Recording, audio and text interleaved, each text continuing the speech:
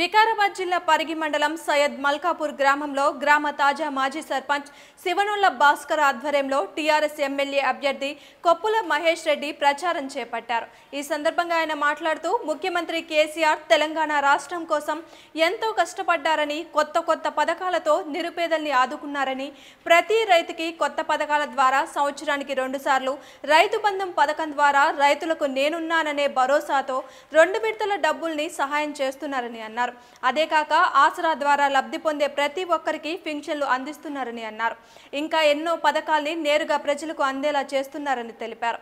మన ప్రాంతం ఇంకా అభివృద్ధి చెందాలంటే మనం ప్రతి ఒక్కరం కేసీఆర్కు ఓటు వేసి గెలిపించాలని విజ్ఞప్తి చేశారు.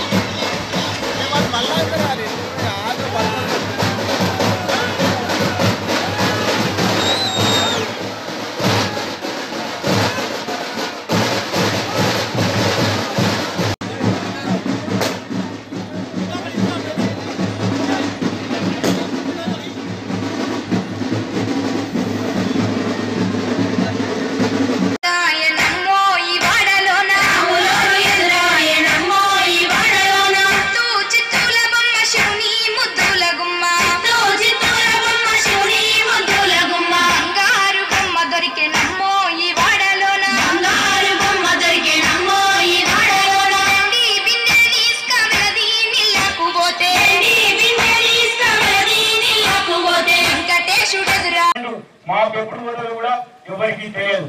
మరి ముఖ్యమంత్రి గారు ప్రభుత్వంలోకి వచ్చిన తర్వాత పగటి పూట తొమ్మిది గంటల కరెంట్ ఇవ్వడమే కాక మరి ఇరవై నాలుగు గంటల కరెంట్ ఉచితంగా దేశంలో ఏ ప్రభుత్వం కూడా రైతులకు ఉచిత కరెంట్ ఇస్తలేదు. ఒక తెలంగాణ ప్రభుత్వమే ఇలా రైతులకు ఉచితంగా కరెంట్ ఇస్తుంది. అదేవిధంగా ఇలా రైతు బంధు ద్వారా ఎకరకు ఎనిమిది వేల భాగంగా మొదటి విడత మనం నాలుగు వేలు ఇచ్చినాం. మరి రెండో విడత కూడా మూడు రోజుల నుంచి మరి అందరు కూడా నేరుగా రైతుల లక్ష ఎకరాలకు తీసుకొచ్చే బాధ్యత నాదని మీ అందరూ కూడా మరొకసారి తెలియజేస్తున్నాం. అదేవిధంగా మిషన్ కాకతీయ ద్వారా అన్ని ఊర్లలో ఎన్ని చెరువులు ఉంటే కూడా అవన్నీ కూడా పూటికే తీస్తున్నాం. ఇవాళ గత ప్రభుత్వాలు ఉన్నప్పుడు మరి ఇలా కరెంట్ ఆరు గంటల కరెంట్ ఉంటుండే. అప్పుడు పగలు ఎప్పుడు వస్తుందో కరెంటు మాకు ఎప్పుడు వదలు కూడా ఎవరికి తెలియదు. మరి ముఖ్యమంత్రి గారు ప్రభుత్వంలోకి వచ్చిన తర్వాత పగటి పూట తొమ్మిది గంటల కరెంట్ ఇవ్వడమే కాక మరి ఇరవై నాలుగు గంటల కరెంట్ ఉచితంగా దేశంలో ఏ ప్రభుత్వం కూడా రైతులకు ఉచిత కరెంట్ ఇస్తలేదు. ఒక తెలంగాణ ప్రభుత్వమే ఇలా రైతులకు ఉచితంగా కరెంట్ ఇస్తుంది.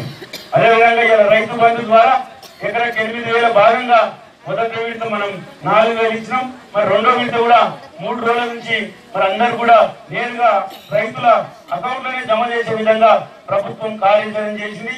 ఇంకొక వారం రోజుల ప్రతి రైతు కూడా మరి పెట్టుబడి ఖచ్చితంగా అందజేస్తాం.